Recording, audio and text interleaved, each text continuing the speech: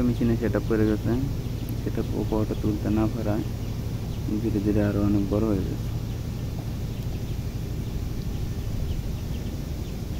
প্রায় eighty percent কাপড় কাটে গেছে। টোয়েন্টি পার্সেন্ট আটকে আছে। যে কারণে পোকাটারও সাহস পায় নাই টেকনিশিয়ানের কাছে গেছে।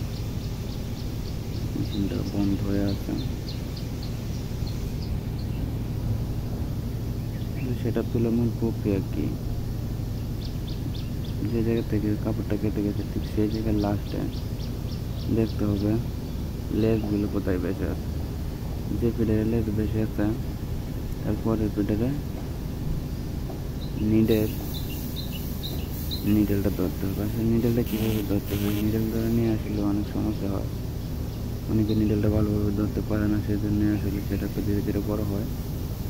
নিডেলটা ধরতে হবে প্রথম যে নিডেল যে লাস্ট কিংবা ফার্স্টে যে নিডেলটা বাস বেশি আছে, দেখতে হবে যে লাইটটা তাই থেকে অফ হয়।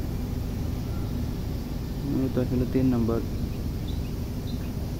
নিডেলটা আমাদের, অথবা দুই নম্বর নিডেলটা আমাদের নিডেলটা সুন্দরভাবে ধরলেই এই যে দেখতে পাচ্ছেন, দুই নম্বর যে নিডেলটা নিট হইতেছে, এটার মধ্যে যদি নিডেল ধরে রাখেন, তাহলে সুন্দর এবং সুস্থভাবে লেগুলো ভরে যাবে এবং নিডেলের সাথে কোনো প্রকার বাঁধবে না।